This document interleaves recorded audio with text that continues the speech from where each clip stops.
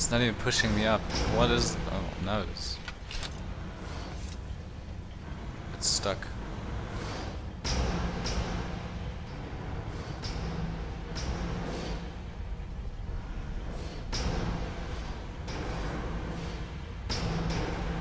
Whoa. Um... Uh, what? What the fuck was that?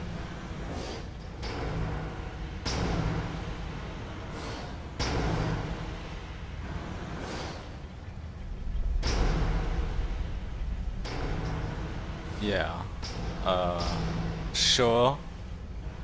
Physics. Let's just call it magic.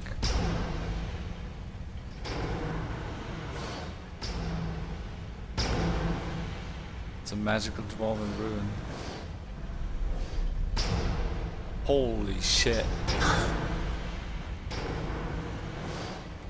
Okay, I'm not gonna do that again.